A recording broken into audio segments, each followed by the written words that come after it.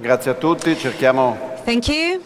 Thank you, everybody. che avevamo immaginato. We uh, wish we could start today as soon as possible.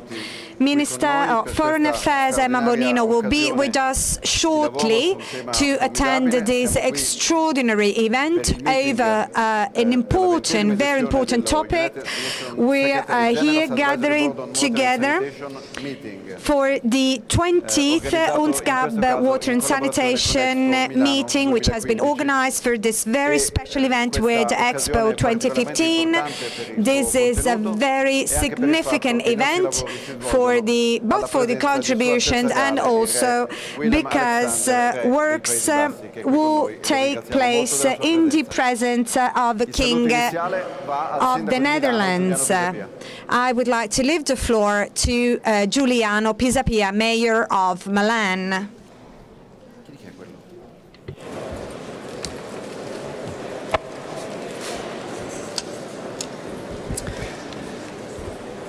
Buongiorno a tutti, Good afternoon, everybody. His Majesty, fra poco attendiamo honored ministers, we are waiting for Mrs. Bonino to join us in a few seconds. Authorities, signori, amici cari, ladies and gentlemen, dear all. lieta di ospitare Milan is very glad per tre giorni to ospitando a Palazzo welcome and dei it milanesi, ma has been done it for the past three days in Palazzo. Marino, the municipality, lavori del board the Palais of the municipality. So we are hosting the board uh, of uh, the UNSGAB organization. bene Wa- comune. Water has a la sua tutela safeguard of uh, general human being well-being. principali temi di Water will be in fact one of the main topics of Expo Milano per la vita. 2015. Feed the planet energy for life. On these esposizione particular topics, our universal exposition con le Nazioni will also work in collaboration with the United Nations and relevant agencies in order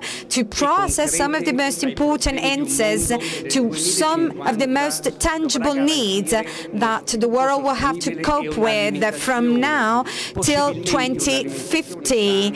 And I'm talking about uh, healthy nutrition that shall be provided to over 9 billion people. And started from this uh, uh, important topic, of course, we're going to focus and dive on the most important element as water is. Uh, Water is a strategic element uh, which is, of course, increasingly covering a more important role also in managing relationships amongst countries and nations, oftentimes leading to also violent conflicts. In some regions of the world, in fact, scarcity of water could actually be, could actually become what the petroleum crisis was up until a few years ago, so a cause of political and social instability. We can't, uh, of course, uh, take, um, avoid taking this into serious consideration. And this is even more valuable for people who are going to attend and be involved in Expo 2015, uh, talking about aspects such as energy, food. Numbers are very clear and are very worrisome. According to the World Health Organization and the Food and Agriculture Organization, all around the world, one over six people, and I'm talking about 194 million people approximately, are not having access to drinking water. And within 2015, over 2 billion of uh, planet inhabitants will be living in areas which are going to be considered high risk from a water perspection. Uh, perspective. And while um, a European citizen is accessing between 200 and 250 liters per day, in some areas uh, of uh, Africa, we are now currently not even touching 20 liters per day. In the light of all that, it is a true honor for Milan to welcome works of the board, of the advisory board of UNSGAB for 2015. And uh, it is a very important contribution, something that has been required by United Nations and two United Nations in order to cope with this topic and have the best future for the entire planet. It is critical for Milan as well to speak about water as our city, and this is something I'm very proud of. It is a city which is sitting on water on channels, the very popular Navigli Mil- Milan. Those channels, even Leonardo da Vinci, the genius, worked on some hundred years ago, some centuries ago. Water is a common good and it has become one of the most important flagship of the city itself. If Expo could actually actually become the showcase of good practices uh, as uh, it should be, Milan will also showcase, as it is already doing, a very important water system that has reported some extraordinary results from from a saving perspective. A few examples that I would like to share with you to convey a very important message to all of you, to the nation, and to all people that are involved on this delicate topic. Milan water tariff is lower than 50% than average tariffs currently existing in other municipalities and regions in Italy. As far as the quality of the service and lab tests which are being performed, every single year over 20,000 samples are being tested on a yearly basis. Milan is also boosting uh, the um, lower rate uh, from, from a wastewater standpoint. And it is truly important for a city such as Milan that it has, of course, based uh, is mainly uh, main, one of the main activities on agricultural, and over 30% of water that uh, is being used in Milan is it is reused in the agricultural lands, and this also is a topic that will be that will be dealt with by Expo 2015. Of course, it is uh, a topic that, as I said, it is extremely important. Water is a common good, is a commodity that everybody should access to, and from an institutional standpoint as well, from a non-organizational agency standpoint, and from a citizen standpoint, it is always stronger requests for water to be paid attention to from the part of everybody. It is also our wish, we do also wish that shortly we are able to establish one worldwide agency or one single authority as, uh, as a single point of reference to cope uh, with legal, technical, social and political topics and problems and issues connected uh, to something which I said it is important worldwide for the entire planet such as authority, of course, uh, needs to be strongly supported by everybody, including United Nations. If there were a consensus, and we do realize that it's going to be very difficult and delicate thing to do, but having said that, if that becomes reality, Milan is ready to play its role, as it's going to do uh, through Expo 2015, drop by drop, step by step. We have to work all together to save the future of the planet and the future generations that will come um, after us.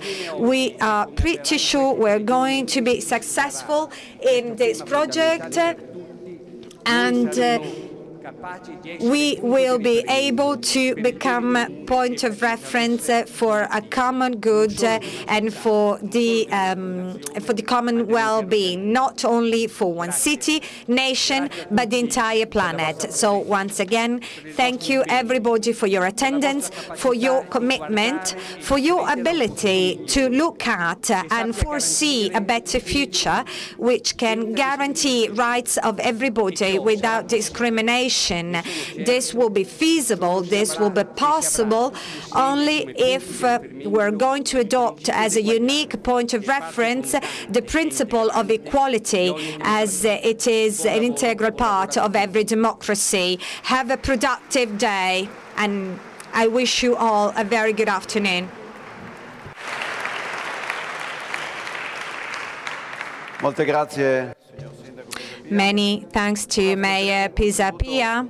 We are going uh, to be listening now to a very interesting contribution from a very short movie that we have recorded a few hours ago. Uh, we are going to listen to a presentation uh, from um, from um, from Minister former Minister Romano Prodi chair of uh, European Union, former chair of European Union, and now special envoy for the Sahel. Romano Prodi Romano Prodi has many different times uh, recalled the attention of the entire world to the topic of water, water systems, uh, and we're very honored to listen to his contribution now.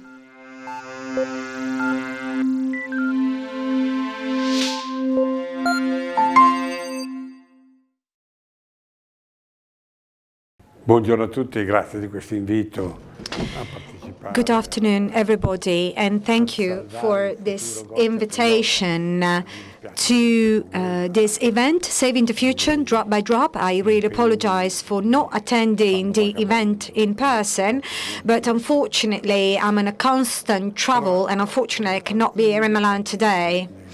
I would like to dive into the topic straight away, though water is really becoming the major problem, the major issue in the world. We have some typical areas such as dry drylands, desert lands, sub-Saharan Africa, where water's always been poor and scarce. But unfortunately, we always have some new areas where water is increasingly becoming poor and scarce. Large rivers uh, are reaching their mouth, uh, basically dry, and uh, countries and new nations and new needs uh, um, putting forward and submitting new needs and new requirements and creating new dams. And this, of course, uh, leads to conflicts, potential conflicts. Uh, think about the problem of the Nile, of the Tigris, Euphrates, and let's multiply that by the rivers of Asia.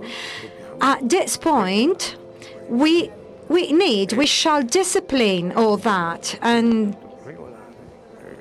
we shall above all regulate the agricultural issue as farmers and agricultural industry is one of the major consumer of water. And of course we do need uh, the right entity that uh, is now deciding over new irrigation, new technologies, uh, with new and modern and more sophisticated irrigation technologies, we may now save up uh, nine nine times as much compared to the past. Even even further, if we use the very the very sophisticated ones, and then we have a problem of re recycling as well that we need to take into account, and uh, also. Another problem, which of course requires for clean water, that is the use of domestic, uh, the use of clean water in domestic households.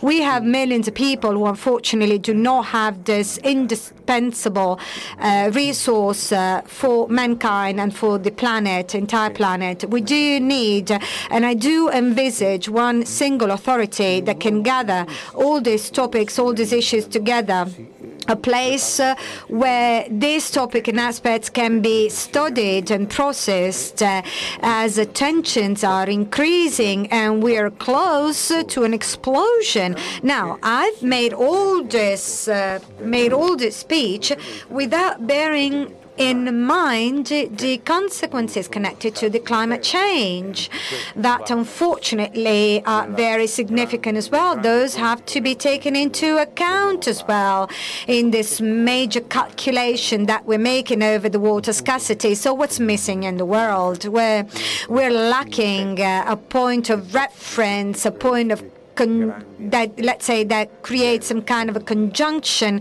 where all of these topics can be gathered all together and touch based upon. I do hope and I do believe also that uh, this conference may prepare may prepare, may get Milan ready to play this new role to uh, try and create this synthesis that we need, putting together operators, decision makers, uh, and researchers uh, uh, to tackle this important aspect of water. So I don't believe it is exaggerated to say let's save the future drop by drop, but let's do it fast, let's do it quickly, as we do not have uh, much time left, uh, let's say 10 years from now, and the problem will become a very tragic one, unfortunately.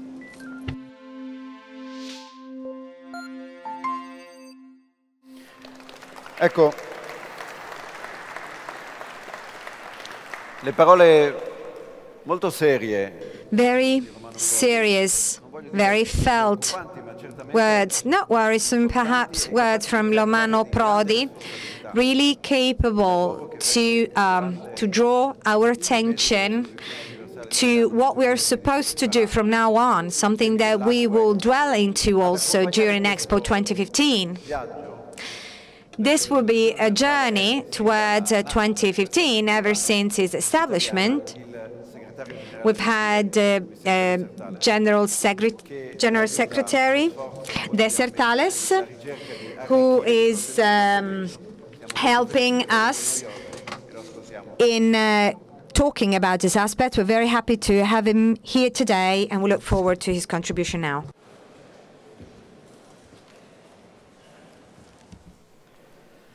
Your Majesty, honorable ministers, distinguished authorities, Mayor of Milan, ladies and gentlemen, I am very honored to be here today at this 20th United Nations Secretary General's Advisory Board on Water and Sanitation meeting.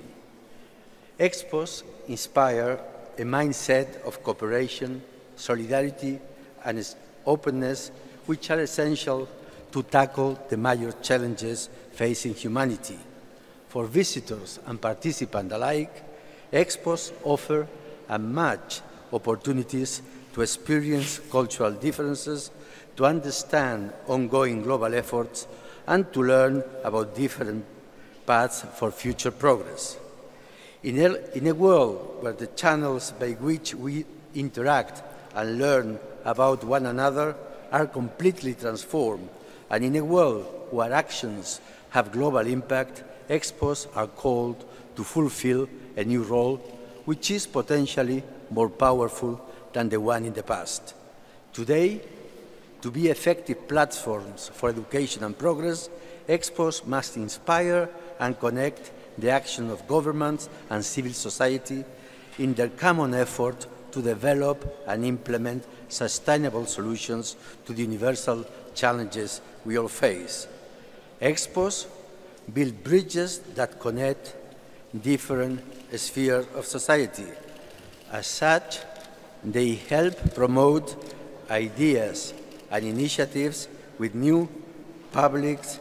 They foster the development of new forms of cooperation, and last but not least, they introduce a degree, a degree of accountability for the actions of governmental institutions and civil societies alike, as we are all called to contribute solutions to our common problems. As early as 1994, our organization passed a resolution stating that future expos have a commitment to respect nature and the environment and to engage civil society with environmental issues by selecting themes based on the main UN agendas. Since the year 2000, there is a strong connection between the selection of Expo themes and the main agendas established by the United Nations through different programs and agreements, such as the Agenda 21 from the 1992 Rio Conference, the Kyoto Protocol, and the Millennium Goals.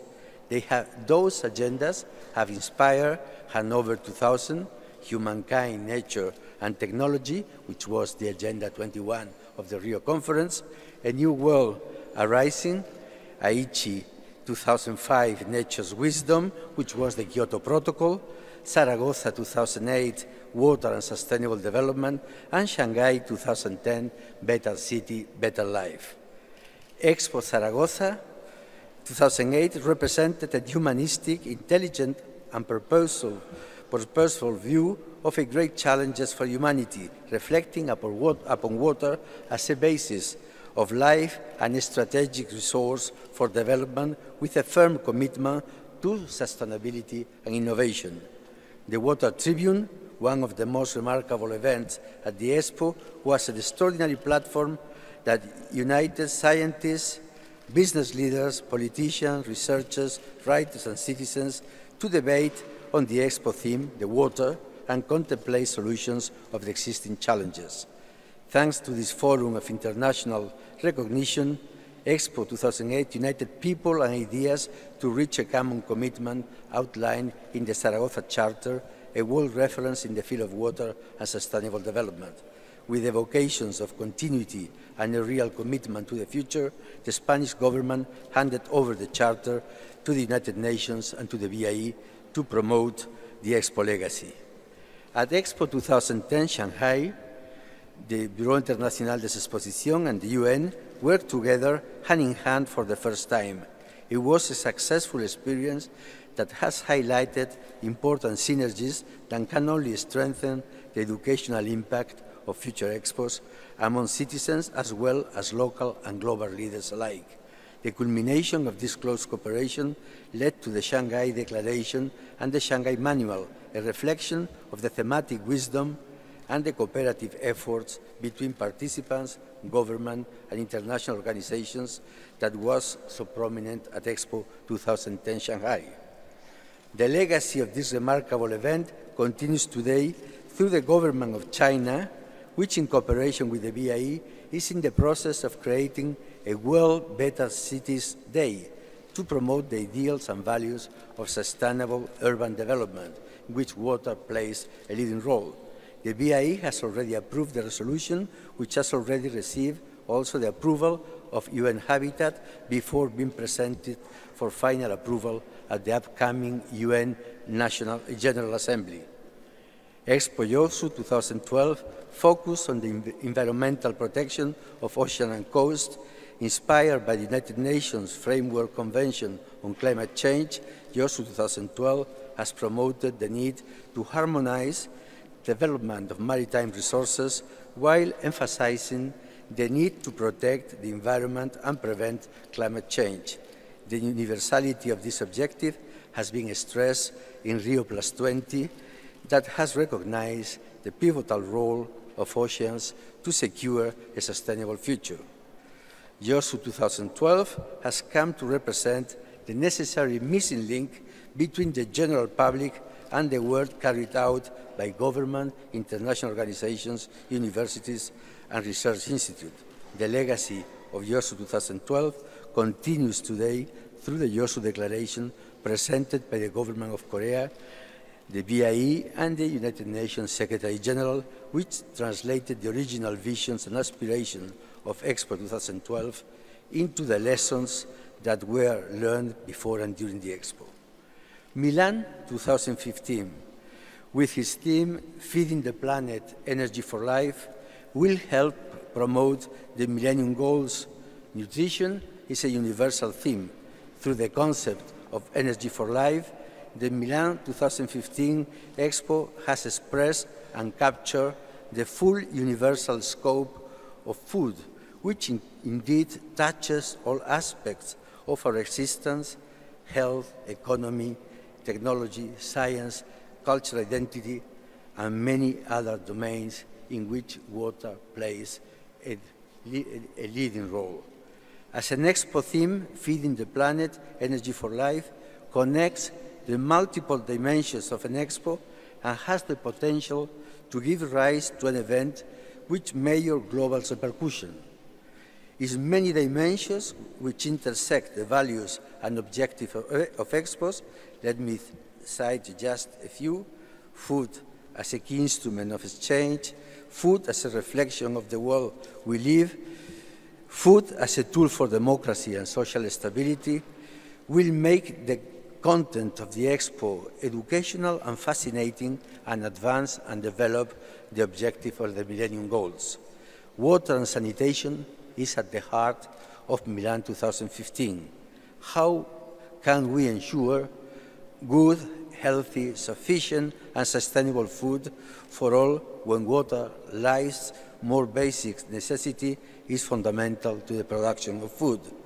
70% of the world water was use is dedicated to agriculture, while almost 1 billion people do not have access to reliable and safe supply of drinking water. The framework of Expo 2015 presents a unique opportunity for all the participants, the BIE, and of course the United Nations, through its pavilion at its continued work on the development of the theme to make an important leap forward in discussions and actions of the international community on this critical issue.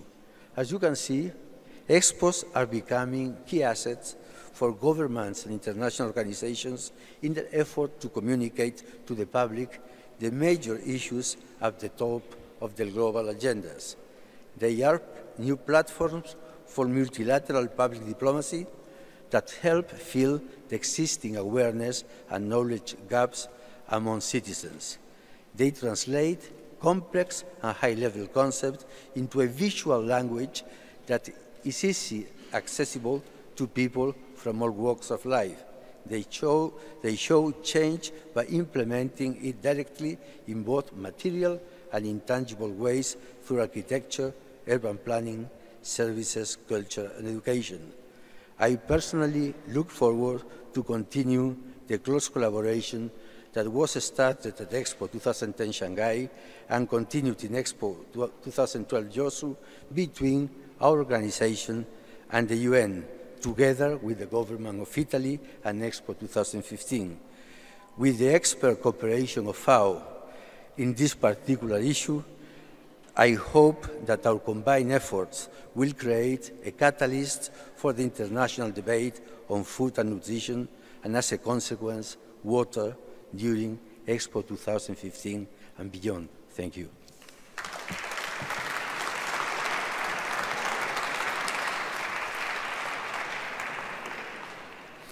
Molte grazie al segretario Many thanks to Secretary General the Bureau International des Expositions.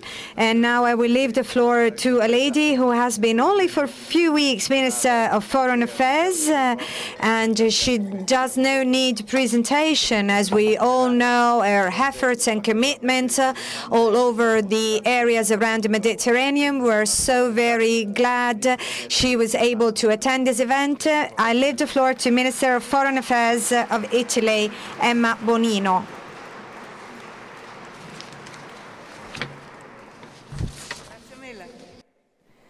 Signore e signori, autorità, signor Sindaco, signor uh, Commissario, dear friends, Your Majesty, my dear friend. It's really nice to see you here. And I hope that you will see that we really want to join forces to a subject to which you have dedicated so much commitment and so much energy, water. And I really salute your presence and we really want to join forces. We want that Expo will really focus on this uh, subject. Thank you for being here. Signore e signori, sono veramente contenta di I am so very glad to take part to the 20th Advisory Board of Water and Sanitation. And I am so very glad as well that the advisory board has welcomed the proposal of Italian government to organize in Milan and together with Expo 2015 this unique event. I would like to thank in particular the King of the Netherlands. To His Majesty, we're also very grateful for the honor that we are being reserved thanks to his attendance and for having significantly contributed to uh, make the debate over the sustainable management of water resources proceed. By the way, who better of the Dutch people knows the virtues and threats of water? Also, thanks to the input that you have provided in the last few years, access to water and to basic sanitation has evolved from a, a noble idea to a right of man has that's been recognized by the General Assembly of United Nations and by the Board of Men Rights. The action of advisory board has stimulated and uh, invited government, international organization and non-governmental organizations, development banks to work all together to tackle and to hit the objective of the millennium over the environmental sustainability and to have within 2015 a percentage of people who still do not have access to drinking water and basic sanitation. Ladies and gentlemen, Your Majesty, we do have a, a saying in Italy that recitate as simple as drinking a glass of water. Still, such a simplicity is still being considered as something very luxurious for some 783 million people who still don't have access to drinking water. And to them, this is not simple. This is not easy.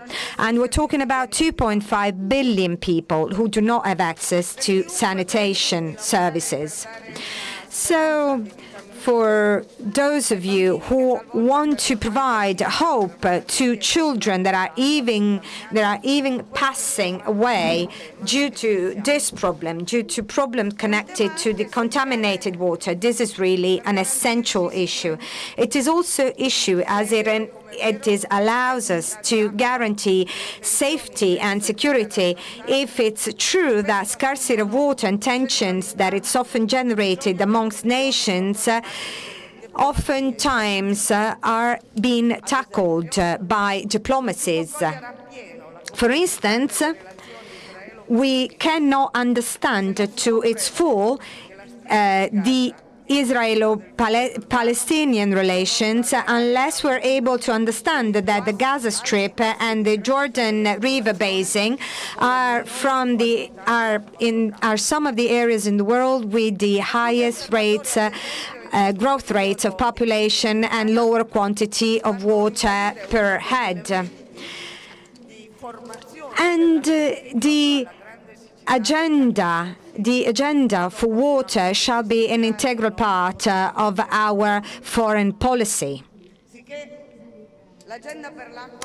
As I said, uh, it has to be an, an integral part uh, of our foreign policy. As an agenda for the water, it means agenda for peace, for social inclusion, for rights and for development. Investing in water also means to foster growth. Very difficultly, the General Assembly of United Nations could have been more timely in declaring 2013 as the International Year over, co over Cooperation for the Water Sector.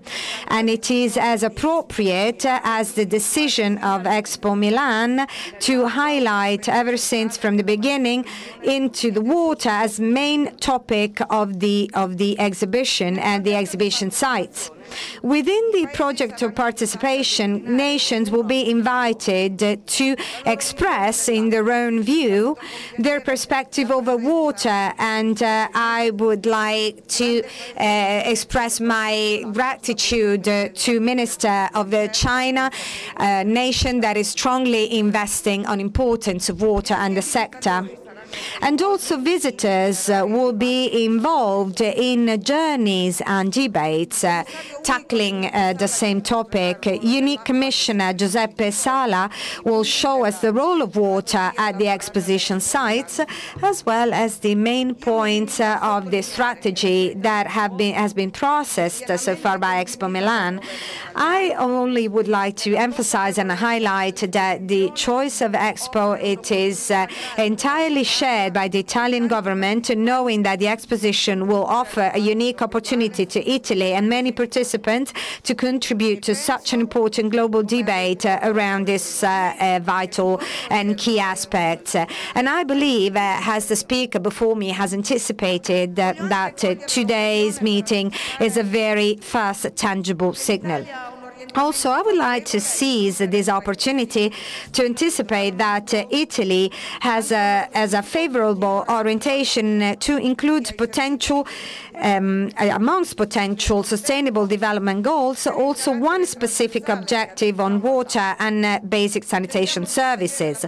Also, we would like to sustain the proposal of the advisory board to introduce some specific targets amongst the other sustainable development goals in order to monitor and ensure a sustainable management of water resources. And since water for us shall definitely play a, a, a greater role in the development agenda post 2015, topic will still be priority also in, in, in action plans which are being processed and pursued by the Italian cooperation. We believe, we feel this is a very um, important approach that shall be tackled in an integrated manner. Also, the final document around the conference Rio Plus, Rio Plus 20 shows that uh, sustainable management of um, water resources shall be necessarily connected to other crucial elements such as nutrition, food safety, rural development, uh, and growing demand for energy. And I'm also firmly convinced that the topic of water is uh, strictly connected to other global challenges, and it cannot be solved, nor tackled uh, as a sectorial aspect.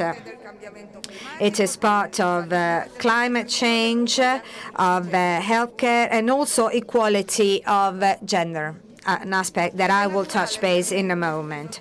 And it is also very natural for me I have invested a lot of time and passion in fighting against a famine and for the rights of women. It is, as I said, natural for me to connect together nutrition, water, and women. For those of you and for those of us who are involved in uh, women's aspects uh, in nations where the rights of women are often uh, not so much taken into account in areas where there's famine, where women have been humiliated by hunger, starvation, and scorching drought.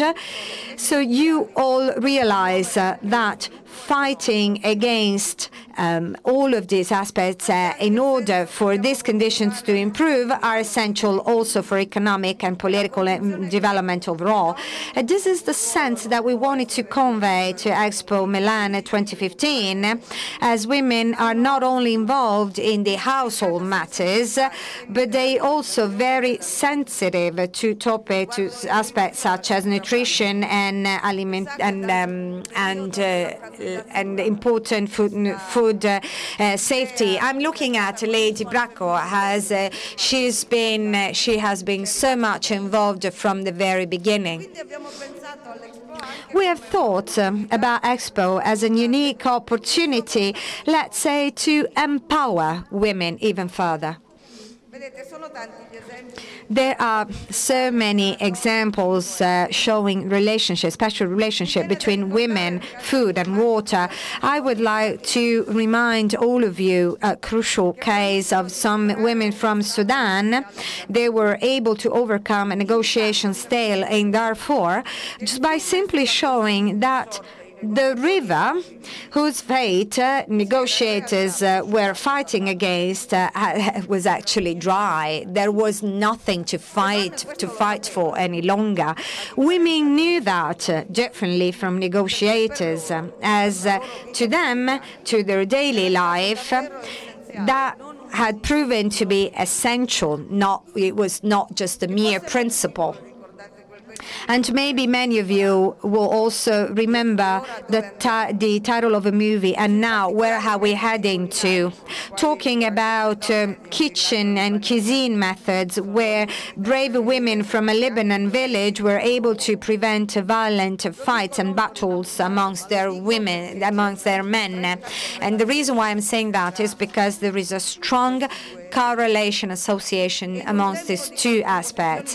In a time of ideological contrasts and sectarian fanaticisms, sharing food may also bring people together.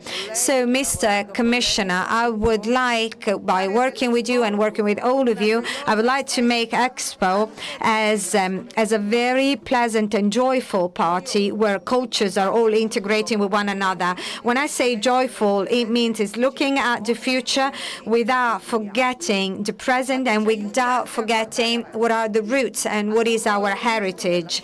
Still, we have to be able to look forward, a role of science without demonizing that, and uh, making sure, ensuring, uh, ensuring people are able to respect uh, and totally fulfill what they believe, what they believe are cultures. Uh, there's no future uh, if we're not aware of our heritage, of our legacy, and there's no future if we only look at our roots also. So roots and legacy are there to make a tree stronger, for this tree to deliver fruits and flowers and only if we're doing this all together we'll be able to help. I'm also convinced that um, the uh, flavor, the tastes of a dish and processing methods and storage and cooking uh, ways are also reflecting the habits and tradition of an entire population. Therefore, for millions of visitors to which Milan will open doors to, uh, doing things together, very common gestures such as eating and drinking, may prove to be may prove to become a very special way to get to know other cultures and also respect their cultures. I believe that this important message of tolerance and integration is being widespread to the entire world from Milan, a very warm and welcoming metropolitan city, center of gravity of Europe, uh, and place of creativity and imagination, capable to say who Italians are, what can we do, what is our entrepreneurship like. But there's also something that really helps us a lot, is having a date. When we have a date in Milan, and in Italy, generally speaking, we're kind of slow at the beginning, and we do sometimes take things in a slowly manner. But when we have a deadline to hit, we know how to reach that. But we all have to run towards the same direction because it is meaningless uh, to run towards a destination without reaching all the same destination. And uh, last, also because we are close to the objectives of the millennium, Expo Milan is also an opportunity to debate and make considerations over the programs that the international community has adopted and on those that it shall adopt in order to considerate and improve the results that will be achieved in 2015. It's not by chance that United Nations were amongst the first to adhere to Expo, and that was an occasion for them, for United Nations, to show what they have done and what they're currently doing to tackle the objectives of the millennium. I would like uh, to confirm strong commitment from the Italian government, which is a tangible signal that uh, in such a difficult moment in time where resources are very poor, where if there's one uh, if there's one aspect that hasn't been dropped down is the expo one. And I just leave you I just leave it to your imagination to think how difficult it was and how meaningful can this become. To me, life is long, world is short, uh, but life can also be bizarre, and it is uh, a very, a very unique emotion uh, to take care of Expo. I have been uh, a strong supporter during the campaign for candidacy, and I'm actually seeing here so many well-known faces. Then I was uh, committed in some other aspects, but of course the commitment to Expo, Expo Women is still here in my mind, and I'm here covering this uh, maybe one of the last portion of this journey in the role of Minister of, uh, of uh, Foreign Affairs, and I'm honored. I know it is a deadline for the entire country, and as far as I am confirmed, it is uh, an important piece uh, of the puzzle, also standing as a priority for my ministry, the diplomacy of growth. But in order to do so, we need all of you. So thank you so much for your attention.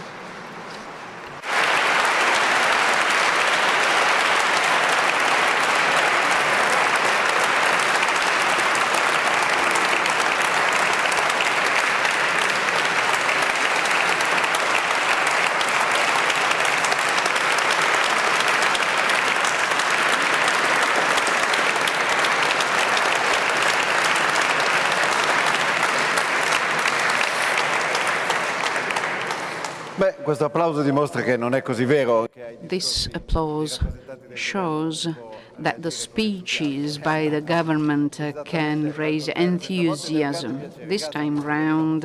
And thank you, Minister Bonino, for your important uh, comments and for your enthusiasm. And thank you for reminding us some of the features of Italians that we shouldn't forget with a view to the Expo. The extraordinary international dimension of the avenue to Milan 2015 is shown anche dagli, dagli interventi che si also by the speeches that will follow, starting from that of the Minister of Water Resources of the People's Rem- Republic of China, Chen Lei, and it is a great pleasure and honor for us to listen to him. Welcome to Milan. 尊敬的威廉亚历山大国王陛下，博尼诺部长， 皮萨皮市长，无锡执行主席，各位委员、各位来宾，Your Majesty King William Alexander, Your Honorable Minister Bonino, Your Honorable Mayor Pisapia, Acting Chair Ms. Wushi, dear WUNSCAP members, distinguished delegates. 有幸出席世博会水战略启动仪式，我感到非常荣幸。在此，仅对仪式的成功举行表示热烈的祝贺，对米兰市政府及世博会组委会承办第二十届顾问委员会会议表示衷心的感谢。It is a great honor for me to be invited to attend the launching ceremony of, Mina- of Expo Milano Water Strategy. I would hereby congratulate on the successful launching ceremony and express our sincere appreciation to the municipal government of Milan and Expo Milano Organizing Committee for hosting the 20th UNSGAB meeting. 米兰是一座具有悠久历史和灿烂文化的世界名城，也是意大利工商业活动的中心。2015年，米兰世博会以“滋养地球”为生命加油”为主题，聚焦饮水安全、粮食供给、食品健康等全球关注的可持续发展问题。对促进世界各国交流合作、推动水战略的实施，共同应对水、粮食、能源安全的挑战，具有极为重要的意义。Milan is a world famous city with a long history and splendid culture. Milan it is also the business and commercial center of Italy, with an overarching theme of feeding the planet, energy for life. Expo Milano focuses on drinking water safety, food supply, food safety, and other sustainable development issues of worldwide concern. It is of great significance for promoting communication and cooperation among different countries, pushing forward the implementation of water strategy and tackling challenges of water, food, and energy security. 中国有句老话叫“民以食为天，食以水为先”。获得健康、安全、充足的食物和水，是地球上每个人的基本权利。受经济社会发展、人口增长 以及全球气候变化的影响，全球水资源形势日趋严峻，水危机日益凸显。 An old saying in China goes like this People regard food as their prime want, and water is essential for food production. Access to s- healthy, safe, and adequate food and water is the basic right of everybody on earth. Due to the impacts of socioeconomic development, population growth, and global climate change, the situation of global water resources is, be- is increasingly grim, and water crisis is becoming more prominent. 一是饮水安全问题非常突出，全球一半以上的国家和地区缺乏安全的饮用水，近十亿人无法获得安全的饮用水，每年有三百万 到四百万人死于因水传播的疾病。二是水资源供需矛盾日益尖锐，过去五十年间，全球取用水量增加了三倍，地下水开采量增加了两倍。到二零三零年，百分之四十七的世界人口将居住在用水高度紧张的地区。First, problems of safe drinking water are exceptionally serious. More than half of the countries and the regions around the world do not have adequate improved drinking water.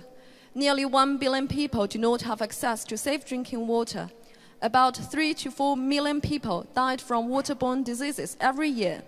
Second, the imbalance between water demand and supply is worsening. In the past 50 years, water withdrawal worldwide quadrupled and the withdrawal of groundwater tripled. By 2030, 47% of world population will live in regions with high water stress. 三是水生态环境不断恶化，全球每年污水排放量达到四千多亿立方米，导致五万多亿立方米的水体遭受污染，每年有近六百万公顷的土地 因缺水而变成荒漠。四是水灾害频发多发，全球气候变化导致极端天气增加。近十五年间，全球共发生较大洪涝、干旱灾害三千三百多起，占全部自然灾害的百分之六十四。Third, aquatic ecosystem is deteriorating. Wastewater discharge has reached an annual volume of more than 400 billion cubic meters, polluting more than 5 trillion cubic meters of water bodies. Approximately 6 million hectares of land were turned into deserts every year for the lack of water. Fourth, water related disasters occur more frequently. Global climate change leads to an increase of extreme weather events.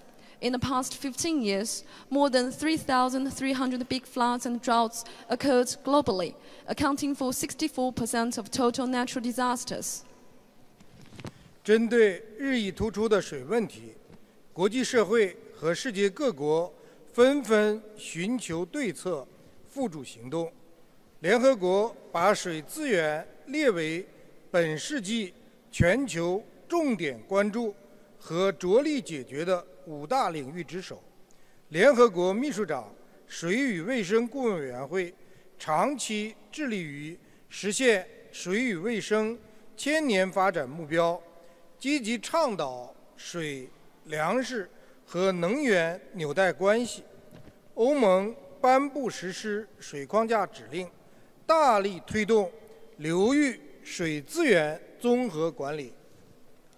In order to cope with increasingly prominent water problems, international community and countries around the world are seeking effective strategies and taking prompt actions.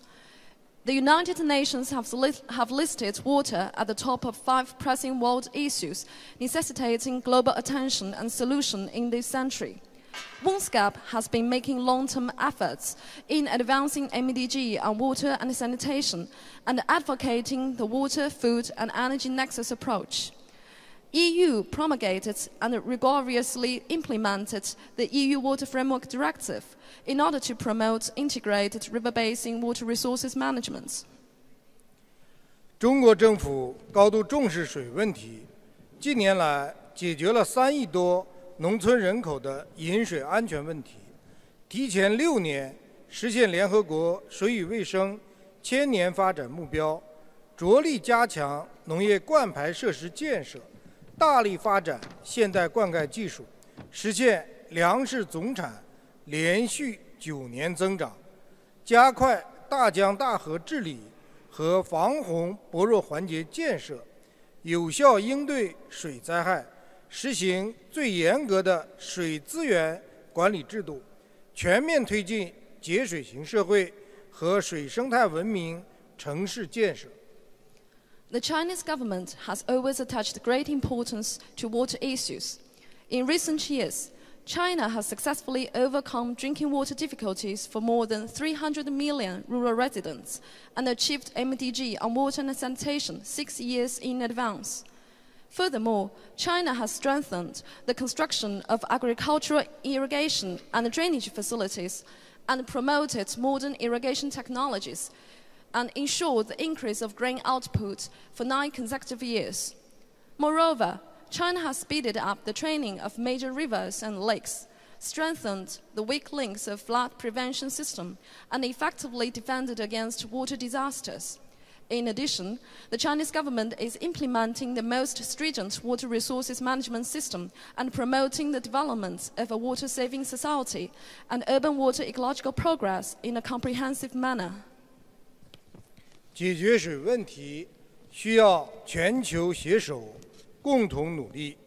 一要保障水供给，为生活饮水、农田灌溉、工业生产、经济社会发展提供 安全充足的水资源保障；二要防治水灾害，构建防灾减灾综合体系，最大程度降低洪涝和干旱灾害损失；三要保护水生态，强化水土资源保护，维护河湖健康生命；四要改善水环境，推进水污染防治，提升污水处理与回用水平；五要加强水管理，规范水资源开发行为，促进水资源节约、节约和高效利用。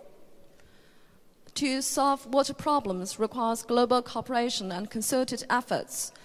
First, we should safeguard water supply in order to provide safe and adequate water for domestic use, farmland irrigation, industrial production, and socio-economic development. Second, we should prevent and manage water-related disasters. An integrated system of disaster prevention and mitigation should be established in order to minimize the damage caused by flood and drought disasters. Third, we need to protect aquatic ecosystem, enhance the protection of water and soil resources, and maintain the healthy life of rivers and lakes. Fourth, we should improve water environments. Water pollution control and prevention should be promoted, and the capacity of wastewater treatment and reuse should be improved. Fifth, we should strengthen water management. Water resources exploitation should be regulated, and economical and efficient use of water should be promoted. 我们深信，米兰世博会水战略 必将进一步提高水问题在国际议程中的地位，进一步凝聚国际社会对水安全重要性的共识。我们愿意与世博会组委会密切合作，共同推动水战略的实施，共同促进水资源的可持续利用。We firmly believe that Expo Milano will further elevate the status of water on the international agenda and foster a global consensus on the importance of water security. We're ready to work closely with Expo Milano Organizing Committee in order to promote the implementation of water strategy and to realize the sustainable utilization of water resources. 最后，预祝2015年米兰世博会取得圆满成功。 Finally, I wish Expo Milano 2015 a great success. 谢谢大家。 Thank you.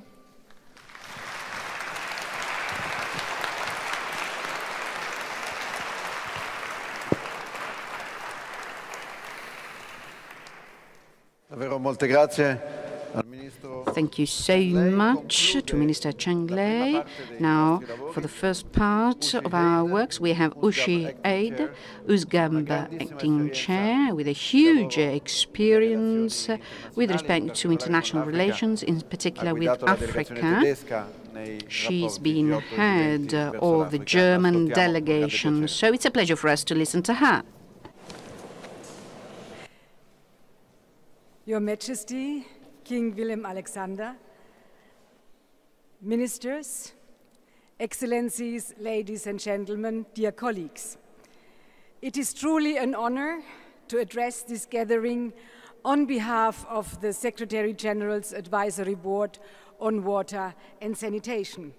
We are grateful for being invited to share our experience and to listen to your suggestions. I sincerely thank the government of Italy, through you, Madam Minister, and Expo Milano for the generous invitation to host our board's 20th meeting here in Milan.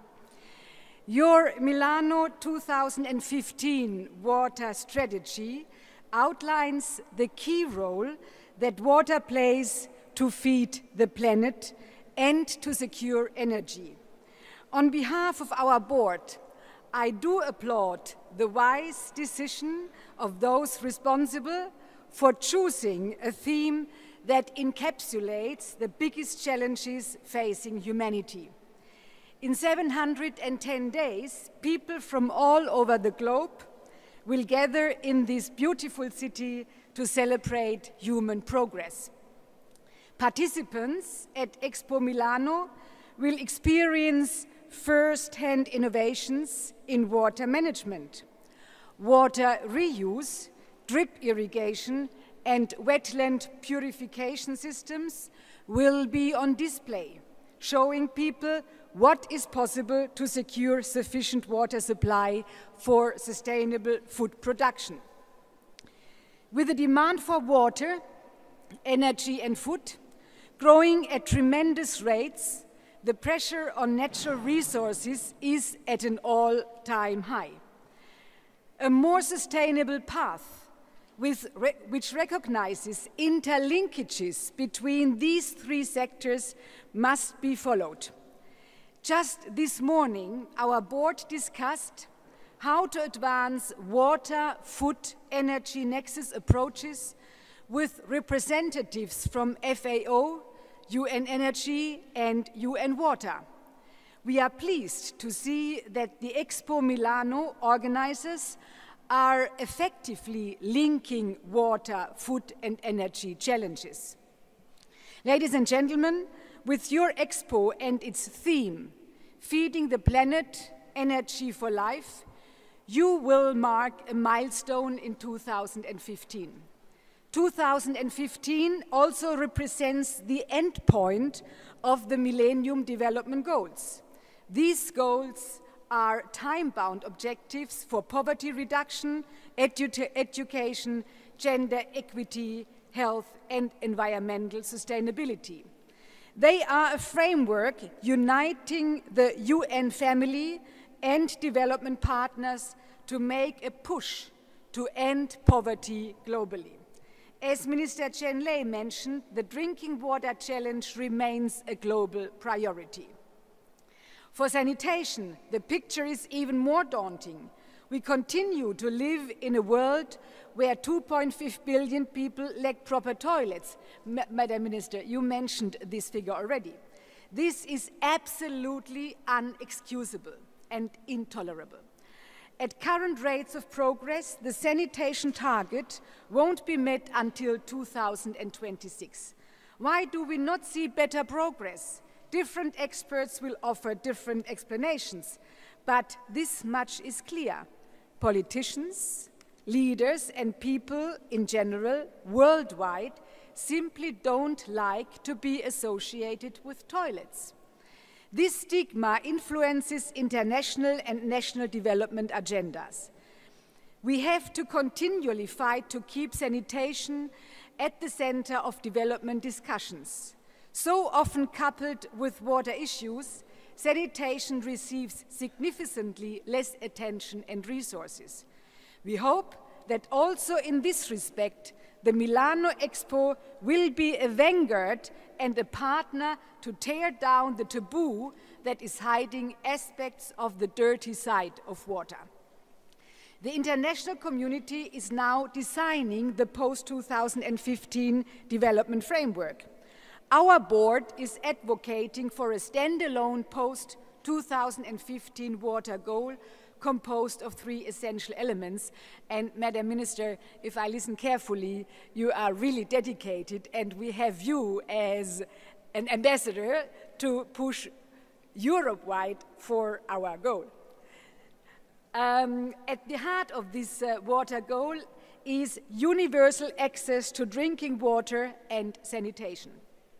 We must strive for a world where every child and every adult has ready access to these two essential services. The MDG targets for water and sanitation have set us in the right direction.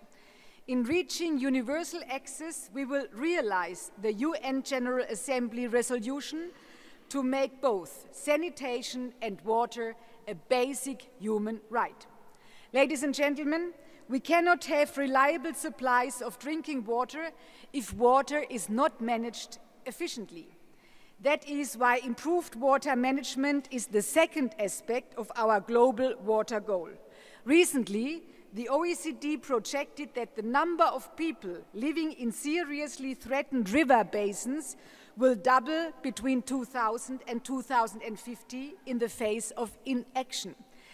This would mean that in less than 40 years from now, almost 4 billion people could live in seriously compromised river basins.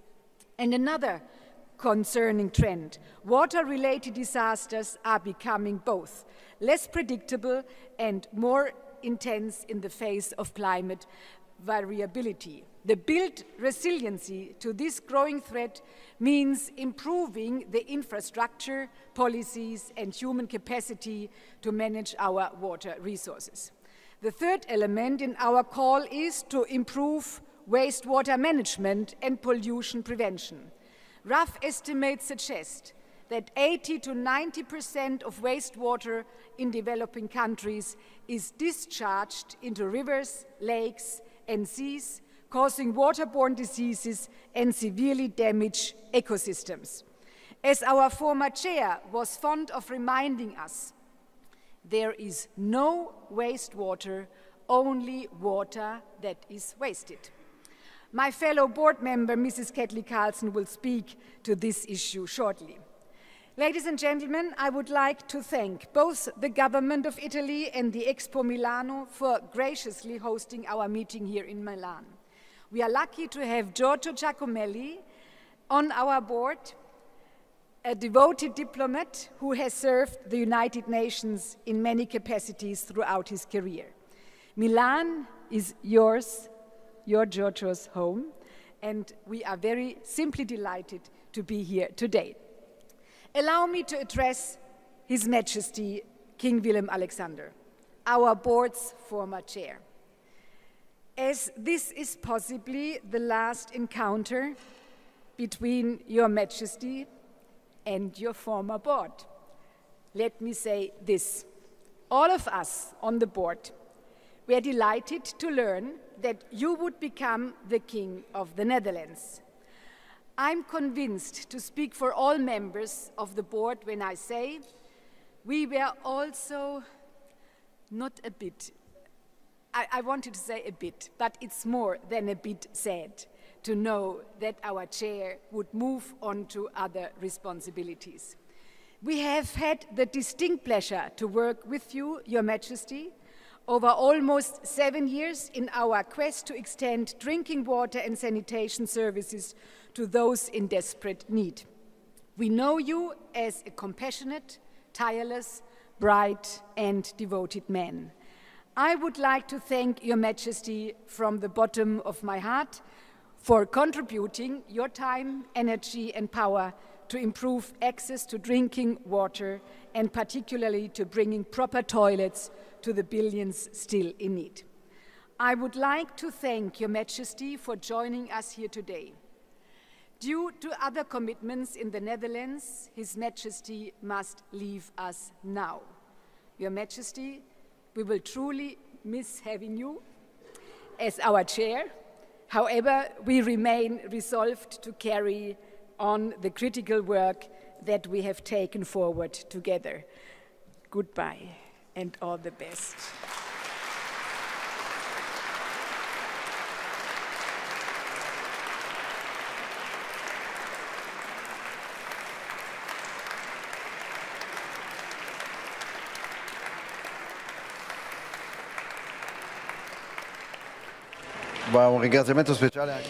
Special thanks to Mrs. Uschi for her passionate speech. So we would like to thank Her Majesty, King of the Netherlands, who is now leaving the event. Thank you so much, His Majesty, for being here today. Of course, uh, our works will continue. I'm leaving the floor to Commissioner General for UN, Eduardo Briales.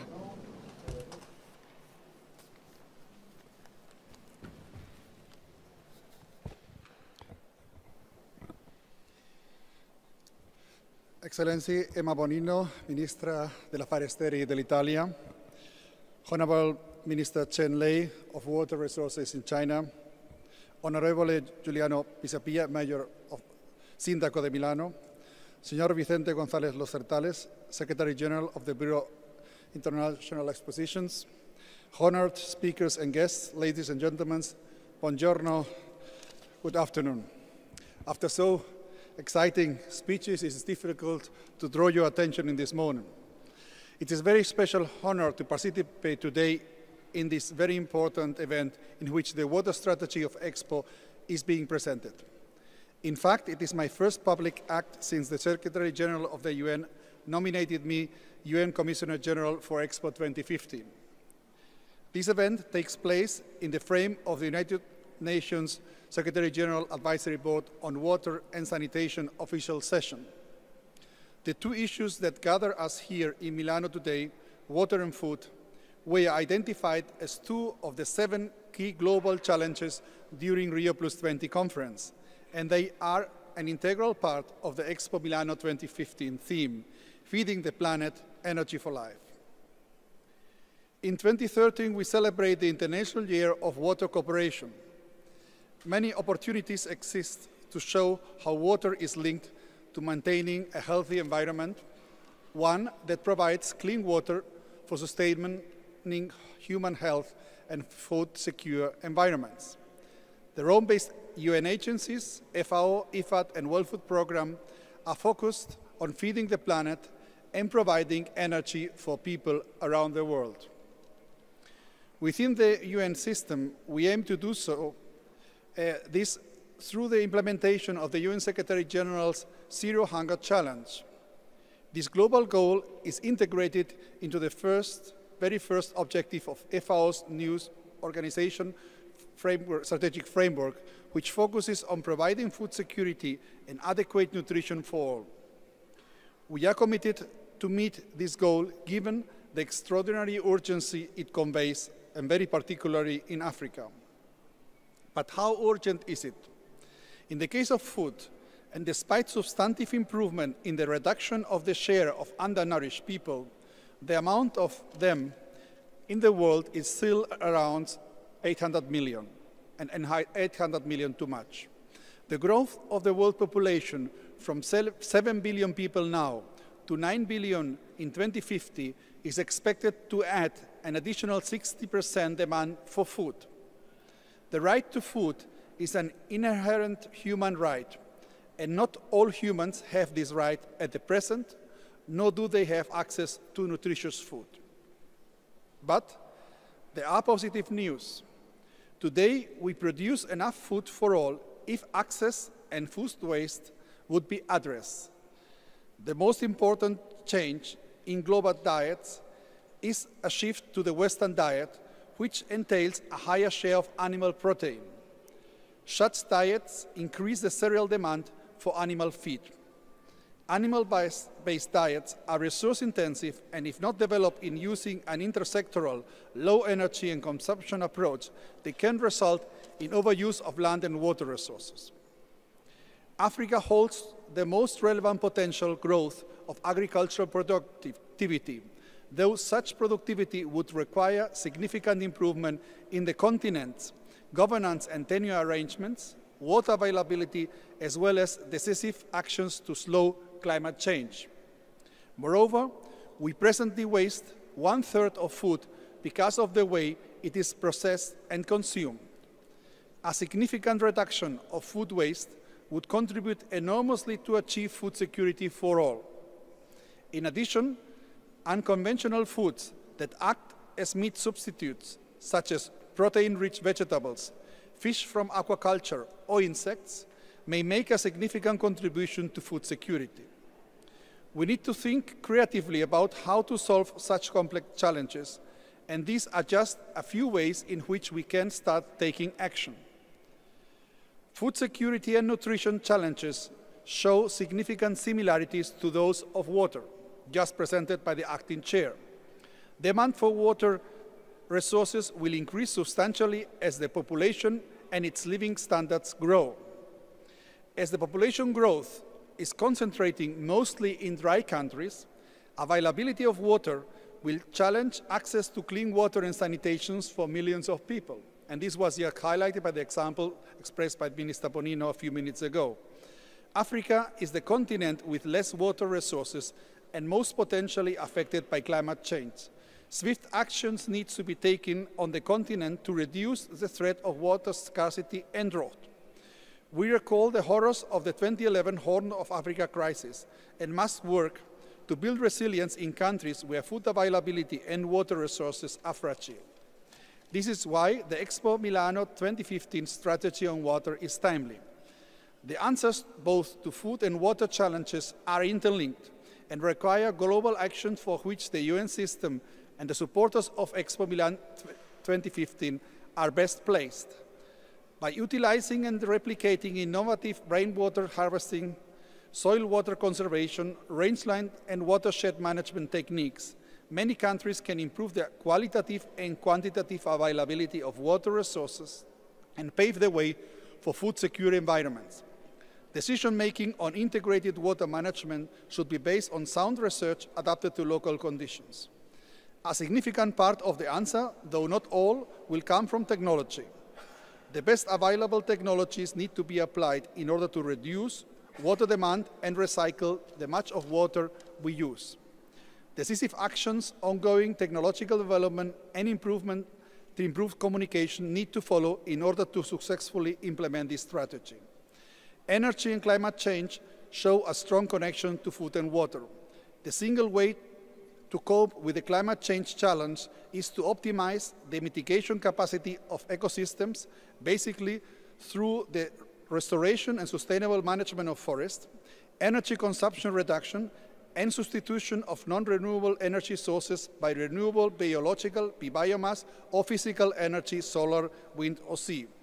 We should recall that CO2 is responsible for three quarters of the greenhouse gases, and that the world vegetation stores roughly the same amount of carbon than the entire atmosphere. All this can foster green growth, including a push for green building using more wood and bamboo, and by this substituting intensive non-renewable resources that can so reduce enormously the carbon emissions. We also need to consider the health aspects of water and food. We all know nutritious diet, diets and clean water are essential to our health. The World Health Organization encourages us to focus much more on the food we eat and the lifestyles, lifestyles we maintain in order to improve our health conditions. The World Health Organization advises us to increase the amount of vegetables, fruit and fish in our diets and reduce the intakes of sugar, fats and animal protein typical of a Western diet. FAO will strengthen its work with the Health, World Health Organization to build these connections in our food security and nutrition goals. We know that sugar and fats have been the drivers of increased food prices, particularly during the second food crisis in 2011, and they are a main reason for the increasing obesity in many developed but as well developing countries. If we are able to see the challenges in the interconnectivity, many win-win opportunities might be identified. As we begin to move forward for Expo 2015, we, may, we need to make a few basic acknowledgements. First, access to food and water must be acknowledged as a key milestone to human progress. Second, the moderate growth of the population and the growing trend to urbanization also opens new opportunities due to the phasing out of subsistence agriculture that would not offer a way out of poverty. Third, we acknowledge that Western consumption patterns cannot be replicated to sustain 9 billion people on one planet. Our challenge is how to assure access to sufficient food and water and energy to all while doing in a sustainable way. And there is one key but often overlooked equation element that is land. Land use approaches need to integrate the productive aspects, disaster risk reductions, value-added activities, employment, biodiversity, soil and water management, and landscape values. The best agricultural land should not be lost due to urban expansion and for constructions of new infrastructures. The UN engagement with its partners at Expo 2015 has an aspiration to leave a legacy to the future of food so that it is accessible to all, ending hunger. And it will be done in an innovative, horizontal way, not with a UN pavilion, but with an, a deep cooperation with Expo 2015 in the thematic and uh, Zero Pavilion to highlight the contribution of the UN to the issues of food. I would like also to highlight that in 2015, many elements align in time. The end of the Millennium Development Goals as we know them today, they will be ending in 2015. The new Sustainable Development Goals that were also commented will start in 2015, or at least be defined then. The Climate Change Agreement is expected to be closed in 2015. And, and regarding to the high advocacy of Minister Bonino to the gender issue, the celebrations of Beijing Plus 20, the first ever big meeting on the situation of women, will be also celebrated in 2015. I am pleased to be uh, here present for the launch of the Expo Milano 2015 strategy on water as it shows the integral linkage water makes in providing food secure environments. For sure, this will help us form the future we want, one without hunger and with the resources needed to sustain life on Earth. I believe the high level of attention given to these topics here today shows a shared commitment and momentum to overcome the described challenges in the future. I would invite you to take from your experience in Milan the ability to inspire the action needed for a food and water secure world when many still do not have access to it. Only if we are able to face the water and food challenges from a 360 degree perspective will, be, will it be possible to overcome them for the sake of human progress. Grazie mille per la vostra attenzione. Thank you.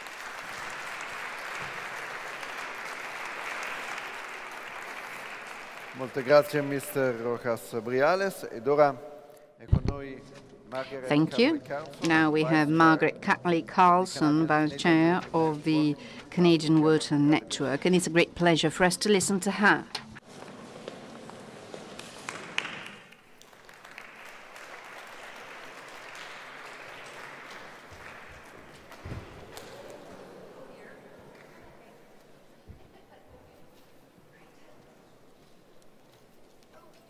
Okay? Yeah, I'm fine, actually. Not a very elegant way to arrive, though. My goodness. Thank you.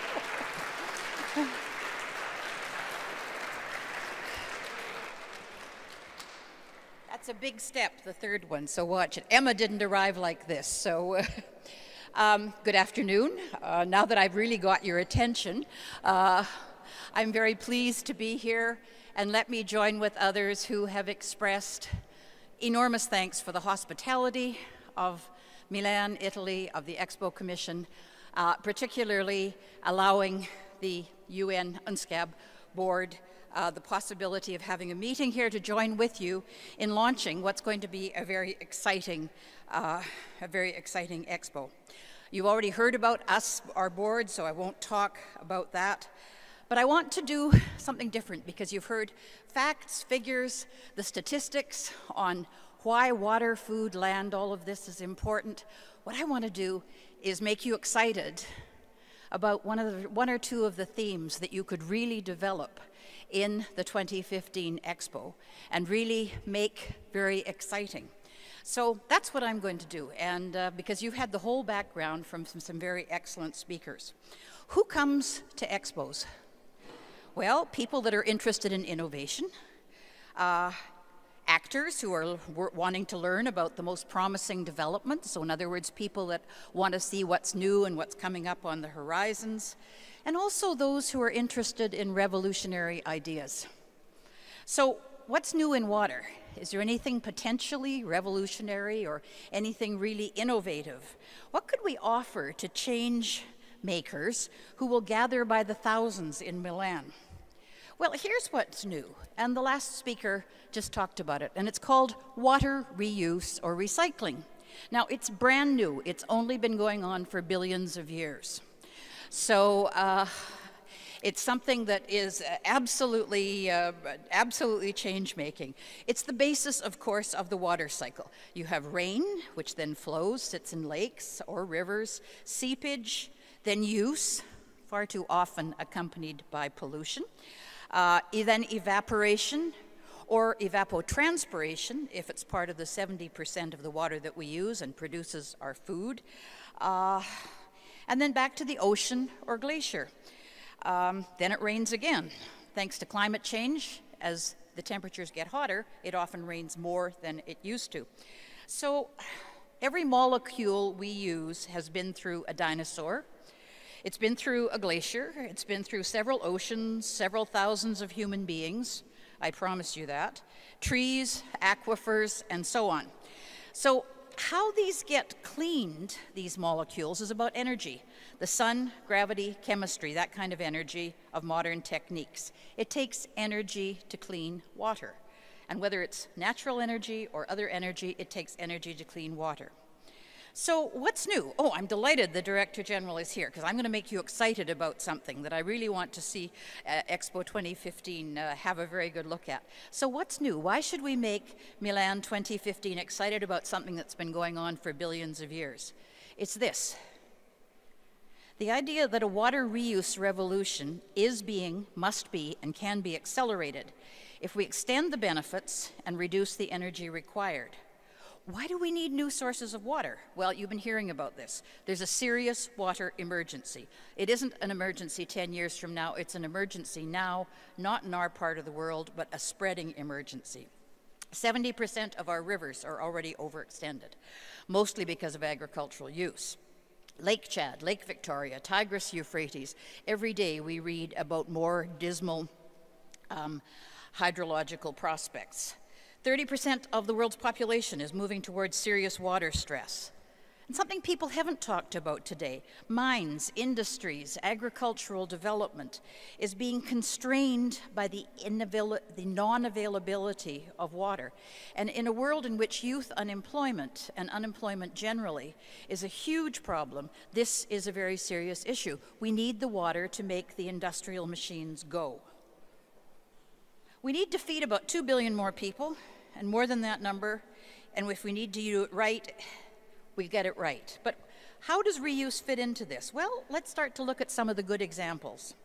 Jordan is now reusing 90% of municipal wastewater and treats it and then uses it for agriculture. This is reusing and recycling. China has been doing this for a very long time. Minister Chen Lei start, talked about this and the role that this kind of recycling and reuse plays. In many countries of the world, the reuse of treated wastewater and wastewater is essential to the nutrition of the people. There's a huge potential difference for the billions who currently don't enjoy the benefits of wastewater treatment, too.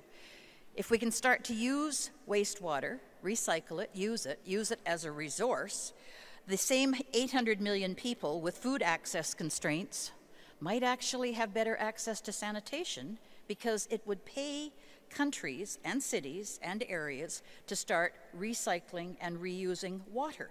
So we can start to change this. So above all, we need to find new sources of water. The, world, the water is overusing lakes, rivers, and groundwater. When you reuse water, when you stop doing things like washing cars and sidewalks with drinking water, and when you reuse the water that you use for the essential parts, it means you're not taking that water out of lakes, rivers, etc. You are, in fact, extending the amount of water you have and using the same water over and over again before you release it into the sea, into the river, or into evapotranspiration. It's the cheapest way of getting new water. It's cheaper than desalination. It takes about one third of the energy that desalination takes to actually clean brackish water or wastewater that is not too significantly damaged. The more energy, the more dirtier it is, the more energy we actually need to use. But if we do it right, we can pull energy also out of some kinds of water that, when we treat it for reuse. Energy can be captured from wastewater. In fact, according to a recent study by Newcastle Engineering, average wastewater contains 7.6 kilojoules per liter, which is about 20% higher than what we, knew, we estimated before. New water reuse treatment plants offer to meet all or a major part of the energy they need. What does that mean in, in real language? It used to be that when a city like Milan or any other city uh, contracted for a new um, treatment, water treatment plant, then it was assumed that the energy would have to come from outside sources, usually from thermal, from hydro, from available electricity.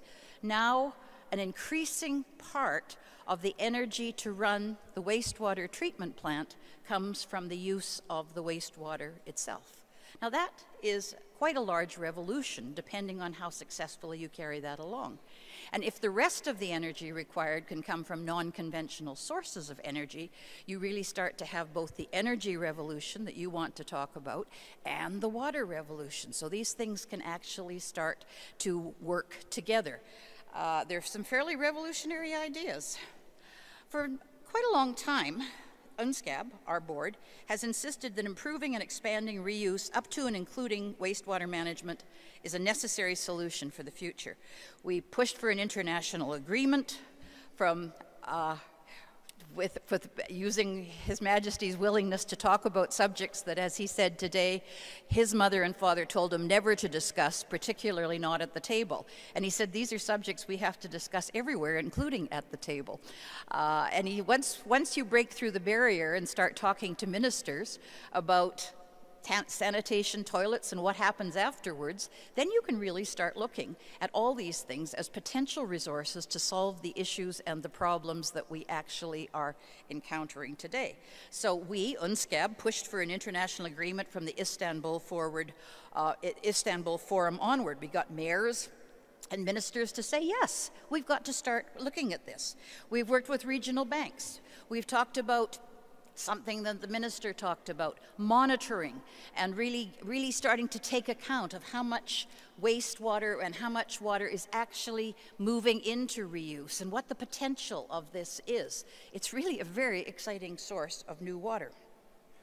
We urged UN Water to study the costs and benefits of the current approaches, and we're really convinced that if sanitation and water treatment stops at the toilet, multiple benefits that we know come from good sanitation will not be realized. What are some of the good things we're missing on? Well, some of them will really quite astound you. Um, I was fascinated to discover that you can, I knew that you could take any kind of uh, something that produces biological waste and use a natural system like a reed bed to do the water cleaning. So that means you can take a brewery and you can take all the waste coming out of a brewery and you can actually use it there. But did you know you could do the same thing for an abattoir? As long as the wastes are biologic, you can use a biological treatment plant.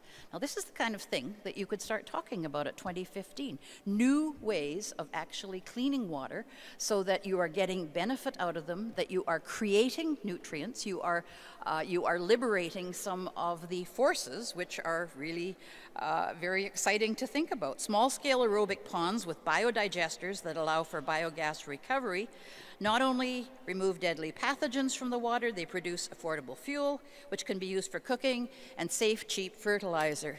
Minister Chen Lei, how many biogas reactors do you have in China?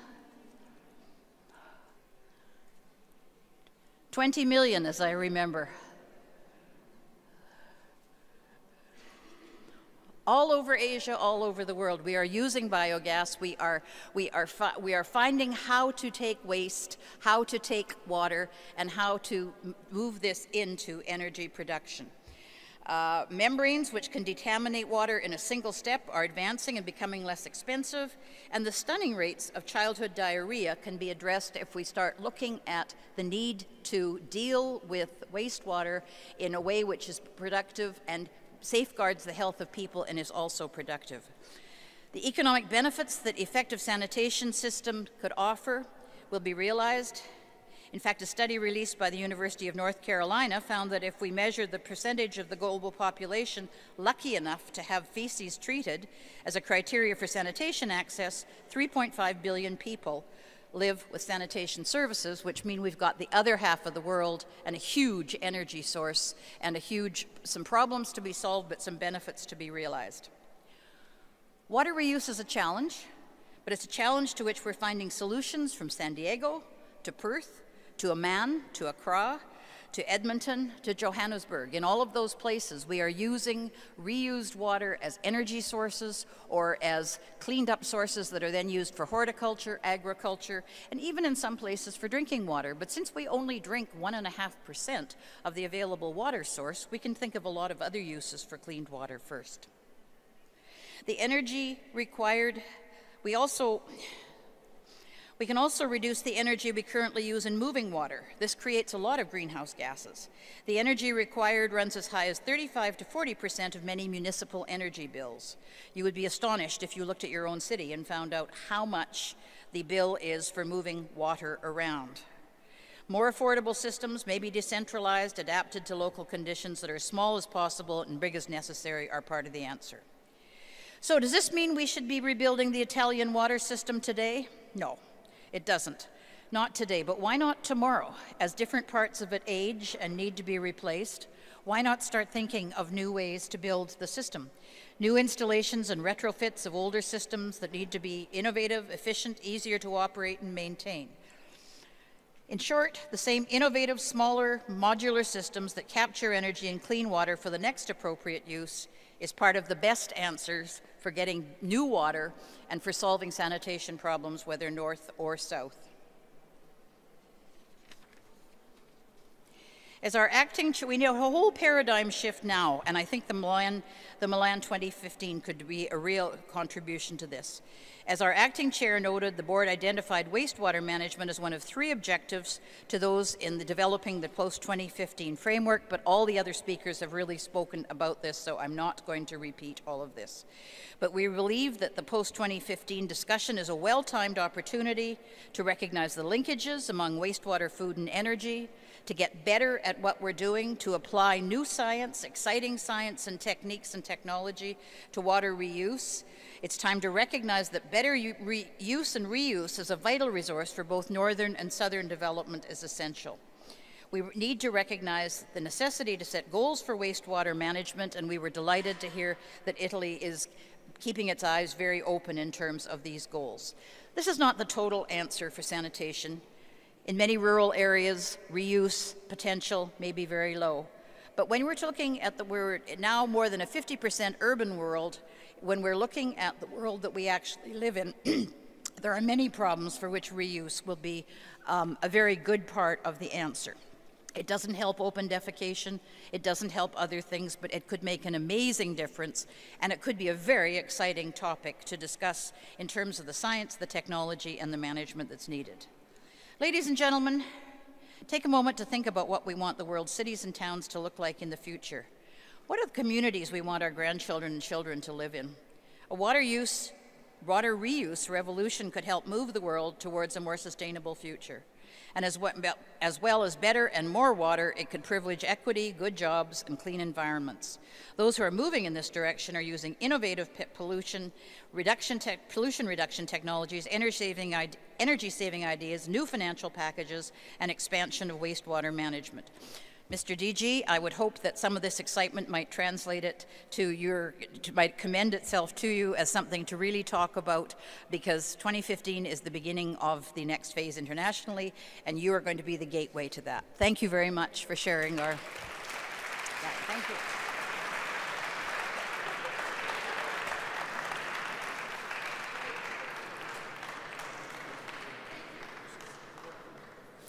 Bene, prima delle conclusioni del Commissario per Expo 2015. Before we draw conclusions and we leave the floor to uh, Mr. Sala, we're now leaving the uh, floor to uh, to Mr. Bazzano, President of Federutility. Mr. Bazzano, the floor is yours.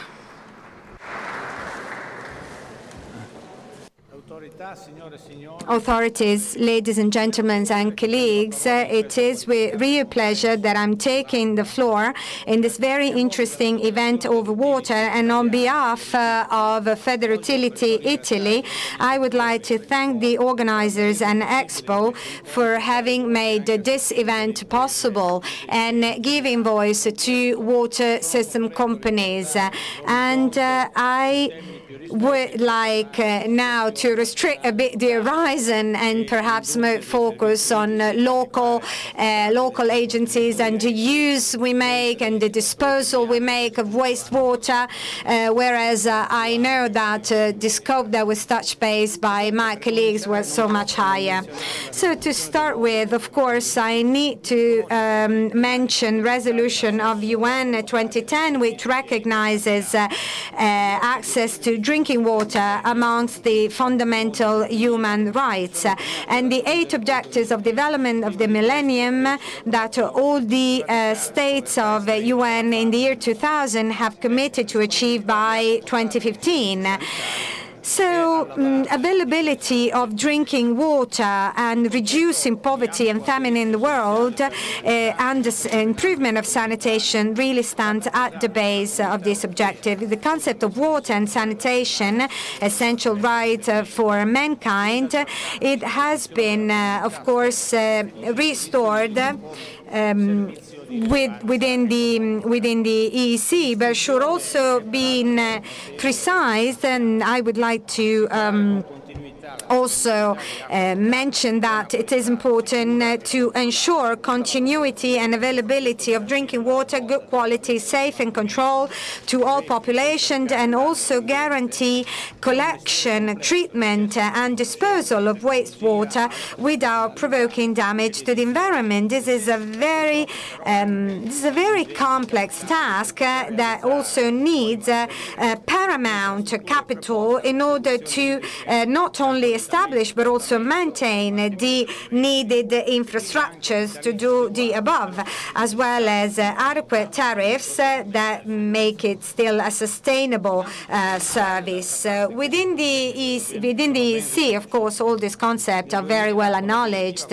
In the year 2000, with, uh, with through the Water Framework Directive, the European Union commits all member states to reorganize the sector policies on the basis basis of a management of water service that it all that it that is integrated and organized by water catchment areas.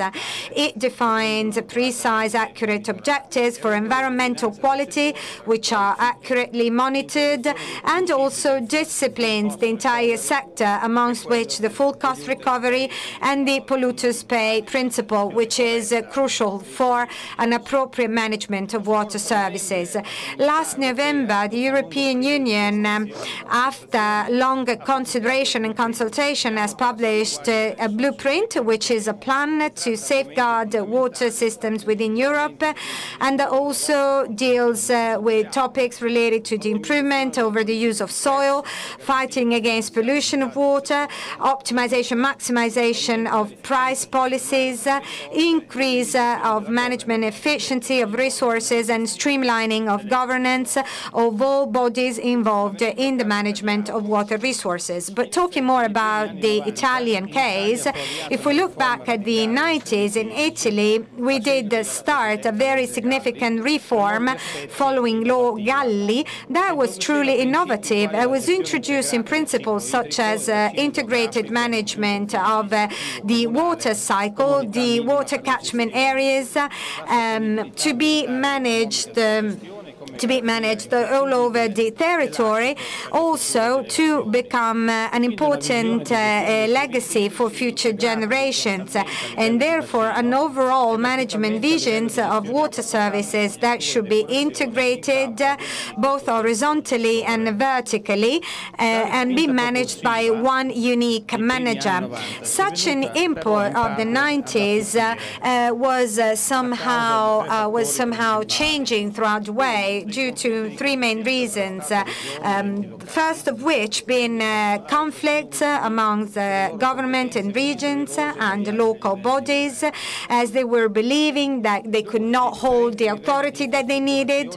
Also, different levels of infrastructure and organization of water service in a country that it is uh, developing uh, and uh, implement administration um, administration regulations in a very differentiated way, especially thinking about the different north and south, and also due to some uh, um, legislative uh, directives and reforms, uh, they were mainly um, focusing on uh, on a dualism of public management versus public private management with ongoing uh, with an ongoing change between one and the other, as opposed uh, to the to focusing on the improvement uh, of the quality of the services themselves. So getting stuck into debates as opposed to thinking on how to improve the quality. Of course, certainty has originated by all this, which of course stands as the main obstacle to the trust of investors and inflow of capitals. And then some uh, important verdicts of Supreme Court and also the abrogative referendum of June 2011 have uh, recently contributed to streamline the regulation uh, um, some of the regulations, uh, going back to the uh, importance of the equality of public-private, also in uh, uh, the importance of determining and streamlining tariffs uh, for an integrated water service.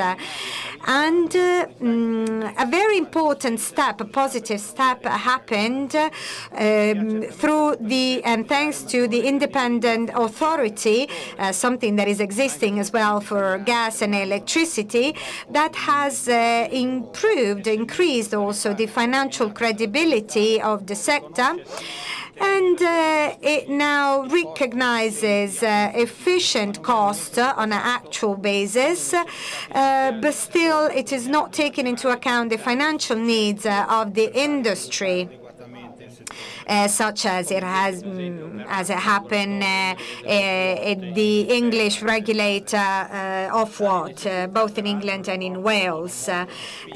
also, financial need, these financial needs that I'm talking about are very significant. We're talking about 65 billion of euros of investment, which are foreseen for the next 30 years that have been already defined within the action plan.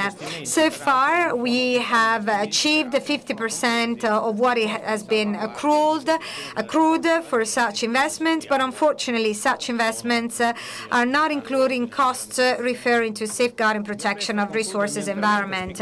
I'm about to draw my conclusion now, hoping that the opportunity of Expo 2015 will allow us to tackle globally the problem of access to water and uh, feed the planet is actually one a portion of the headline and that means managing water resource entirely not only the 10 15% which is destined to human consumption which though it is uh, uh, let's say involving uh, it is uh, including and taking into account uh, and committing over 50% of the debates nowadays.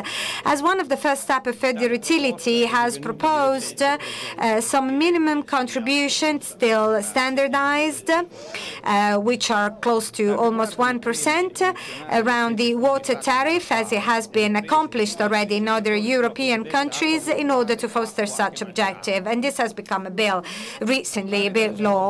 Um, and also, um, equally to what you know, uh, familiar, what you know to be very familiar has um, carbon footprint, which is calculating production of CO2 in the uh, production and consumption uh, of goods and services. Also, we have uh, currently developed the water footprint.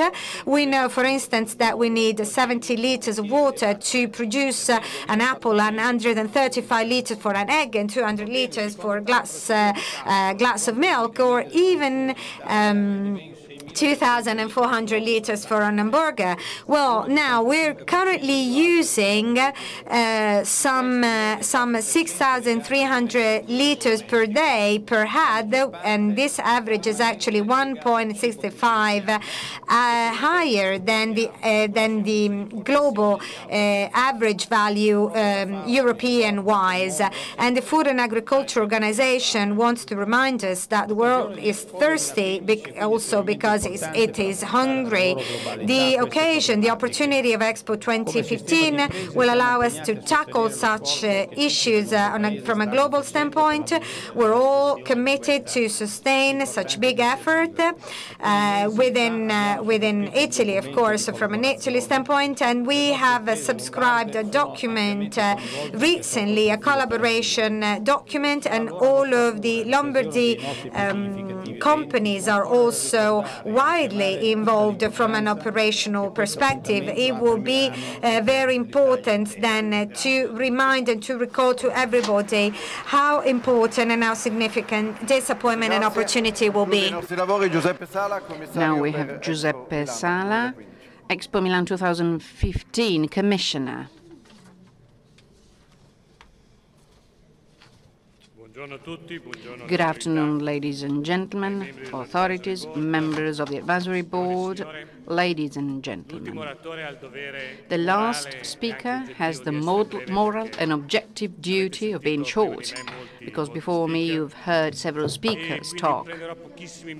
So I'll take some minutes uh, to weigh up uh, what Expo has done, and I will talk about the meaning and connection between water and Expo. I believe that based upon uh, the previous speeches, you've understood and broadly so that water is an issue that divides and unites and triggers water uh, wars, and it's a main concern.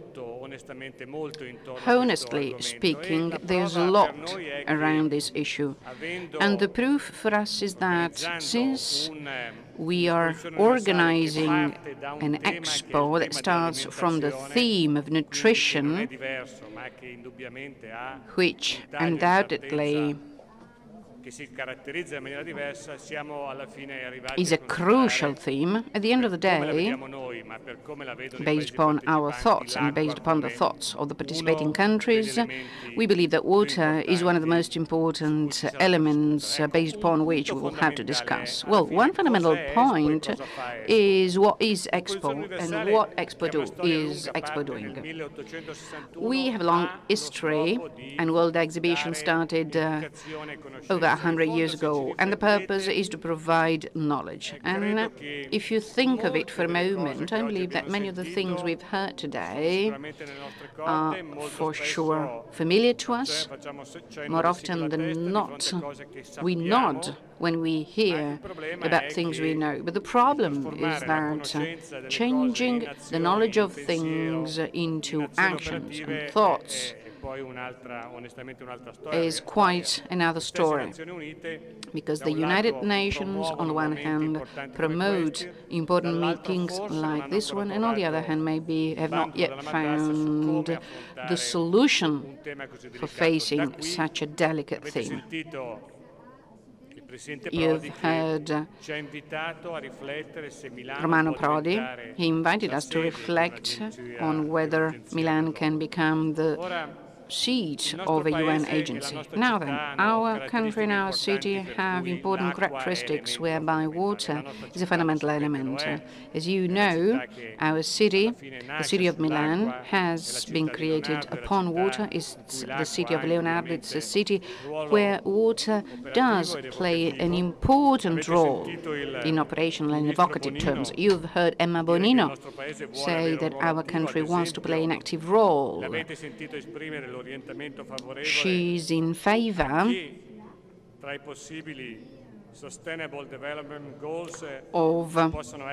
of the possible sustainable development goals, including water targets and objectives.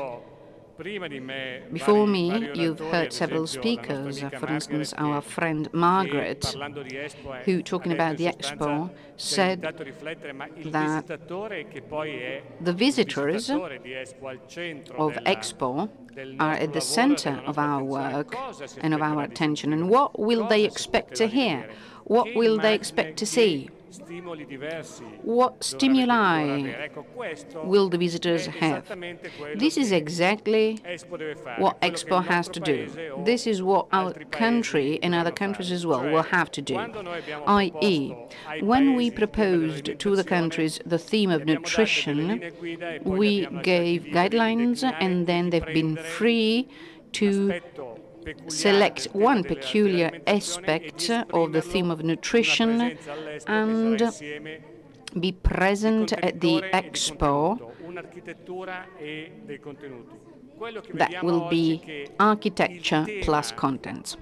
What we see today is that the theme that raises more interest and that has gathered more consensus is the theme of water.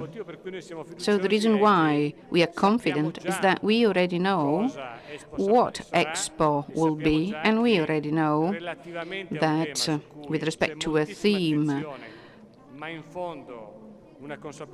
that is very important, but with respect to which people are not aware, all of the countries will help us interpret the theme itself. We're asking participants to develop the theme of water based upon their own specific uh, geographical and biological areas, based upon their technological uh, excellences. And uh, from this point of view, each country has its own viewpoint and each country has its own way of surviving by managing water. We've heard Minister Chen Lei, the Chinese minister, stress that water is by now one of the key elements of China. We have a number of countries that will be present in a cluster, the dry areas cluster, and they will speak about that. Having said all that, I'd like to say that on the one hand, we need to work on the preliminary stages with meetings like this. On the other hand, in those 180 days in Milan, there must be enough real space for debate and for learning and for having fun with respect to all that Expo brings with it. And at the end of the day, everything must go on beyond Expo. So our final effort and our commitment is geared towards water. And at the end of the day, all that we do for water should go on after 2015. senso di riuscire a lavorare nel tempo e di non We want to go on working overtime, and the end of Expo should not be the end or the beginning. We should continue working on water. We should continue to collaborate with the board on water and sanitation. And by the way, this is one of our dearest collaborations, and this is one of the reasons why I'm quite glad of being here with you today in this important meeting, and hopefully we will continue working together up to and beyond 2015. Thank you. Bene, grazie a Giuseppe Sala, commissario di Expo 2015. Thank you, Mr. Sala. Our works are now about to end. From today onwards, uh, we'll be we'll be having so many new occasions to meet up together and gather to speak about these important topics. Cocktail is waiting for you right outside this room. Enjoy it. Bye bye.